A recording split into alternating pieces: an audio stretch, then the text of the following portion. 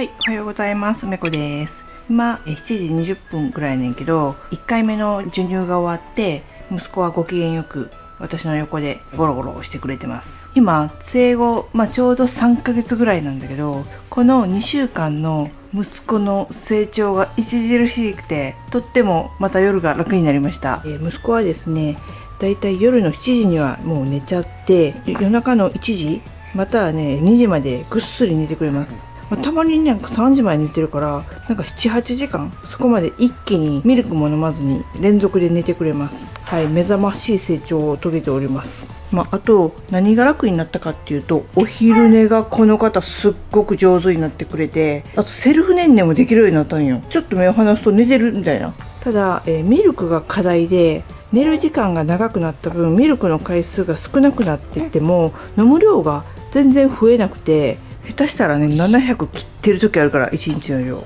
もうすごい小食で困っております。おはようございますりっくんかわいいですね今日も。はいてな感じで今日も1日取っていきたいと思います。朝の7時ぐらいのミルクが終わると1回結構起きるんよね。だからここで朝の遊びが始まります。最近ね赤ちゃんの布団が結構お気に入りで掴んでくれるんだよねでりっくんの布団やもんな。ね軽いからキュッと抱っこできるのがいいみたい。最近寝返りができるようになってすっごい毎日練習しだすんよね。なんなら泣きながら練習してもう好きあらば寝返りみたいな感じで。前はでもでちょっとできひんかってんけど今は一人でもねコロッと場所によってはできるんよね。私ヨガマット引いてここに毛布引いてるんですけどここに寝転がったらちょっとここの段差を利用して寝返りができちゃってここにコロンコロンコロンコロンって転がっていってここら辺に落ちてなんか苦しんでる時があるからとても目が離せない存在です。今はねまだ寝起きやからね今寝返りしたいってなってないからよかったと思ってちょっと横で寝ておきます。こうやって横の布団でね一緒にまったりしながらね朝をちょっとゴロゴロして過ごしてみます。今日はもう目が結構覚めちゃったりしたんやけど寝れる時はねもう一回ね寝たりしてます。でそういえば最近ママさんの知り合いと道歩いてたら「梅子さんですか？YouTube 見てます」って声かけられてすごい久々に声かけられてびっくりした。そして私のあの普通のママ生活終わりみたいな。YouTuber としてバレたみたいな感じやってまさかのママ友と歩いてる時に梅子さんって声かけられるっていうことがありました。まあちょっとねぶっちゃけバレへんやろみたいな感じで全然自分から YouTube やってんねんっていうのはさすがにないやん。だから基本的には YouTube やってることは言ってないしなんならもしかしたらこのままチャンネル終わることも全然あるからなかったことにしようかなみたいなぐらいに思ってたんやけどちょっと無理かなみたいな。私の YouTube 過去はバリバリ美容整形ずらーって感じだったから知ってしまったがもうなんか微妙に戸惑うんじゃないかなと思ってなんかちょちょっと困るなみたいな。ただ今はね息子の出来合いチャンネルになってるんでね。美容整形はねそうお休みですね。今整形してる場合じゃないんですママ。息子の小ささをね毎日噛みしめるっていう。ちょっとずつ大きくなったよ。でもな生まれた時からねだいたい2倍になりましたって。最近ねあの抱っこ抱っこってならへんのよね。でも私が抱っこしたいからね。抱っこしてる。ちっちゃいうちにも抱っこしとこうと思って何それ鬱陶しそうな顔そうこの彼の目線の先にはジムがあってねちょっとジムで遊ぶ？遊び方がだんだん激しくなってきております最初アンパンマンに触っただけでアンパンマンに触ったみたいな感じで大騒ぎしてましたおっとここで寝返りここで急に寝返りの練習をしだすここプレイジムなんで寝返りやめてもらっていいですか？あと手なんだよね。手がもう一歩なんです。自分でできるかな？手がね、ちょっと君いまいちなんだよ。もうちょっとこっち出さないと。できるかな？自分でできるかな？うん、頑張れ頑張れ。オッケーよ、はいはいはい。うん、頑張ってる頑張ってる。いい感じよ、今。はい、そう、そう、こう、こう、こう、こう。そうそうそうそう。頭を持ち上げる。そうそうそうそう。すごいじゃん。寝返りできたじゃん。手もね、自分で頭を支えようとしているというか、頭も持ち上げれるんだよね、もう。自分で頭持ち上げれるところまで行ったら、ちょっと安心かな、みたいな。りっくん救出します。寝返りおしまいです。はい、こうやってね、救出活動を毎日やっております。こんな感じで、あの、寝返りしては救出、寝返りしては救出の毎日です。疲れたやろさすがにママも疲れたぞ9時44分です8時ぐらいまでね遊んでたんですけど一緒にそれから朝寝をして今泣き声で起こされました。はいちょっと速攻でミルク作っていきたいと思います。私はまだ全然眠いんですけど。ミルクミルクはい昨日の夜から M サイズにしてるんでいっぱい出るけど大丈夫？これでねあの飲むミルクの量がねアップしたらいいんですけどね今は持ってないけどなんか哺乳瓶もこうやって2人1人であの持とうとするんよね。なんかすごいあの自立心がね強い子なんでね。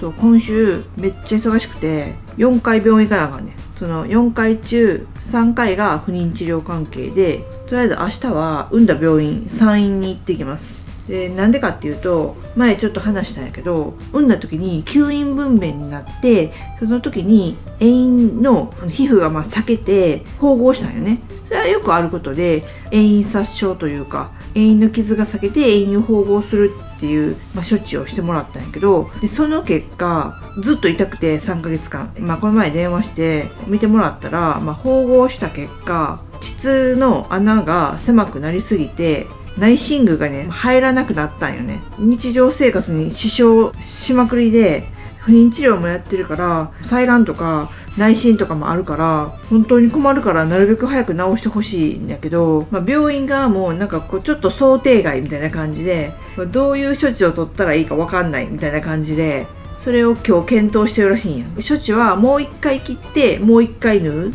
でちょっと広げるみたいな。か麻酔して思いっきり広げるとかそれか処置をしないでしばらく経過を見るからしいねんけどその検討会の結果を明日聞きに行くんやけど病院に。さすがにねちょっとおかしいでしょってなって処置をするとしても手術代が空いてないかなんかで3ヶ月待ちとかなんやんか待ってられるかって思いながらも、まあ、それか3ヶ月待ちができないんだったら他のクリニックとかで処置をお願いしてで紹介状書きますよって言われてんけどどこそのクリニックを探すのは私らしくてどういったんでやねんみたいな。まあ治るかどうか分からへんって言われてるからね。なんでみたいな。そんな無責任なこと言わんとってみたいな。しかもそんな難しい手術だったみたいな。そうだからね処置の結果を、まあ、聞きに行ってく。でも不妊治療とか自分の年齢のこととかもあるからもし待てなかったら他の病院を探そうかなと思ってるんやけど、まあ、実はちょっと当てっぽいクリニック見つけちゃったんですけどなんだなんだね150おやっぱ乳首 M サイズめっちゃ効果あるんやけど。飲むの早いしごちそうさまですか。おおよかった。全然ミルク飲まへん飲まへんって心配してたんやけど乳首のサイズが合ってなかっただけやったってこと？すごいやん。嬉しい。でそれが明日病院に行くんやけどで明後日が不妊治療の診察で木曜日は違う不妊治療のクリニックのそれ北九州にあるクリニックなんだけどそこの東京でカウンセリングをやってくれるからそこに行くっていうことをやります。というわけで今週はねもうめっちゃクリニック通いなんですよ、まあ、土曜日は英語なんだけどだから結構ねあんま一緒にいられへんっていうかちょっと申し訳ないね。ちょっとクリニックいっぱい行ってごめんね。もういい。はいごちそうさまですと。いっぱい飲んだいっぱい飲んだ。はいはい。寝返りはもういいよ。寝返りは分かったから。ミルク飲んだ瞬間寝返りしようとするから私はお腹減ったのでね自分の朝ごはん食べたいと思います。見ときますからねママ。めっちゃ私を見ておりますちょっと待ってやばいやばい。ちょっと朝ごはんの用意してたらね息子がひっくり返ってるんですよ。君ひっくり返っちゃったの？ダメだなもうここに置けないわ。ごめんごめんママがダメだったね。ここのお布団に置きたいと思います。あびっくりした。あのソファーに置いてる時は寝返りせえへんかったんやけどね。寝返りしたくてしょうがないよな君。ほい移動だこれで寝返りちょっとだけ我慢してもらおうと思います。ママご飯食べてくるから。もう今10時過ぎなんですけど昨日の夕飯が6時ぐらいに食べたの。で6時ぐらいに食べたからもう16時間経ってて私的にはね16時間ダイエットというか16時間断食を、えー、たまにできる時はやってる。でも結構会社に勤めてた時よりかはこう16時間何も食べないでいることは結構簡単やから続いてる。たまにね毎日やってないけど1週間に2回ぐらいやるかやらないかぐらいかな。あの若返りを狙ってやってるんで健イコール若返りイコール卵子の若返りやから本当にこれ重要やから。今まで美容法としてやってきたことが、まあ、そのまま卵子の若返りというか卵子のアンチエイジングにつながるんで、まあ、それはそれで今まで知識があってよかったかなってすごい前向きに捉えてます。でも卵子のアンチエイジングとか卵子の質を維持するっていうのは私がずっと言ってる AMH とかその卵子の在庫とかはまたちょっと違うんだよね。卵巣の年齢を反映している AMH っていうあのホルモンの値はどちらかというとすごい個人によるんよね。人それぞれ。だから私はどちらかというと創発閉経の人に近いんだけどじゃあ残っている卵子の質がめちゃくちゃ悪いかっていうもうそれが50歳の卵子の質かって言われるとそれは違うくてさ年齢に応じて、まあ、41歳だけど41歳の卵子の質。もうそれを少しでも質を良くするためのことをするのが卵子のアンチエイジングっていう感じかな。おお落としちゃった。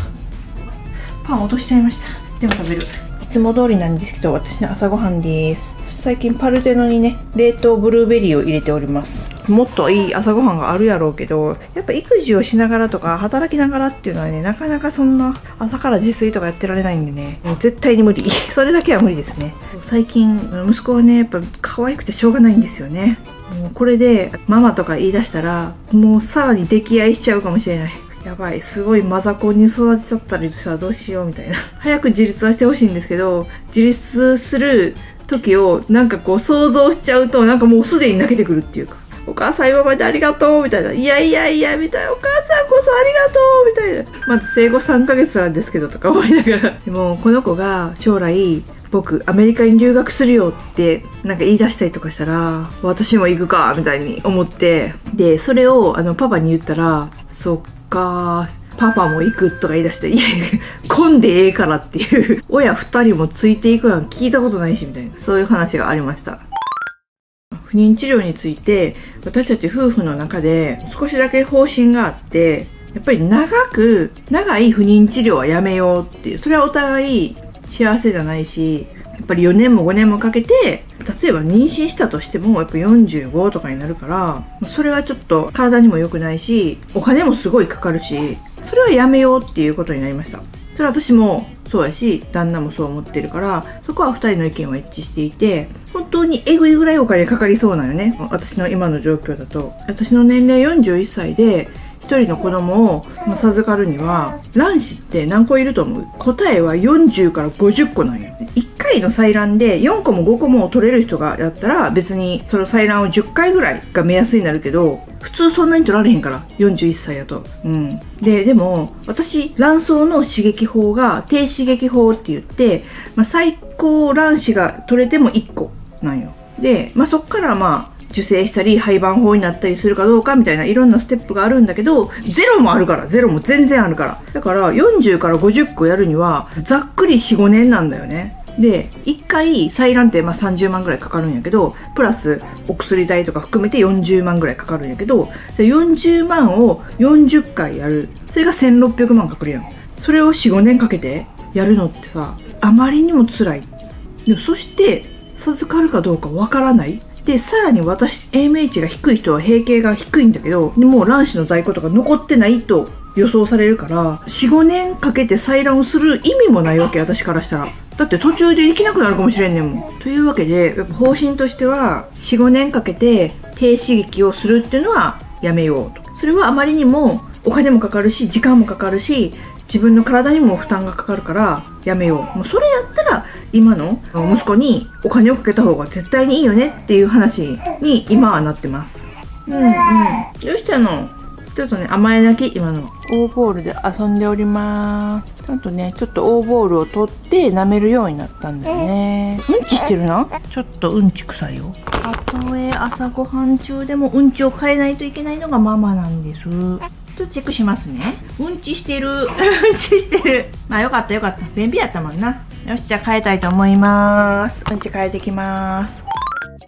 今ねちょっと落ち着いてね、えー、まったりしてるんですけどそもそもなぜ子供が欲しいかみたいなところまでちょっと考えたりとかするんやけどなんで急には子供が欲しいって思ったんだろう。しかも2人目もそんなすぐ欲しく思うみたいな。私20代30代とかって全然子供欲しいって思ってたことがないというかそれは20代は全然思ってなくてやっぱ30代とかもなんかちょっと言い訳しちゃうとやっぱ忙しくて忙しいというかあれかな20代はやっぱ25まで学生やったし25からね30まではすっごい忙しかったしもうとてもとても子供なんてみたいな感じやってそっから30になってその会社辞めて無職になって次に入った会社も半年で辞めて無職になって今の会社は32で入ってでそれでもやっぱり最初はすごい大変で仕事を覚えるの、まあ、最初やっぱ夜も遅かったしねずっと。そんな5時10分とかで帰ってなかったし全然残業とかも多かったし入社したてはとてもじゃないけどその子供を作ろうとか子供を持ちたいとは思ってなかったんだよね。そうそう私は。これはさ私の背景やけどさ女性ってそれぞれさやっぱ子供を持たないってていう選択もあるし、まあ、子供を持ちたいっていう選択もあるけど持たない選択の中でもやっぱりいろんな背景があって単純に子供欲しくない人と産みたいけど産めない人がいて産みたいけど産めない人っていうのはやっぱり自分の健康状態とか病気のことで産めませんとかあるやんそういう病気とか。で2つ目は、まあ、高齢だからだよね要は出産的齢期が、まあ、過ぎてしまって産みたいけど産めない人。私は第一子を幸いにも授かったけどもう少し上の年齢だと諦める人が多いっていうのもよく聞くし産める体はあるけど経済面で育てられない人。女性の子供を持たないっていう選択肢ってやっぱ背景がいろいろありすぎて自主的に選んでる人ももちろんいると思うし私とか20代30代とかは自主的に子供を持たない選択をしているつもりだったんだよね。真面目に考えてなかったんだよねすごい。自業自得なんだけど自業自得だけで気持ちの整理がつかないような気持ちなんだよね。子供が欲しいって思ってしまった瞬間って。20代30代の時にもっとさ普通に子供作ったらいいやんっていう。もっと早く行動してれば自分が早く閉経が来るだろうっていうことももっと早くに分かったしあまりにも私はね妊娠出産に対して無関心だったんだよね。だから遅くでもいいよねいけるよねみたいなところがあって今は産みたいけど産めない高齢出産グループに入ってるわけよ。自分の気持ちってやっぱ変わる可能性もすごい高いし理屈じゃないんですみたいな。第2子をスパッと諦めれたらどんだけ楽だろうみたいな。も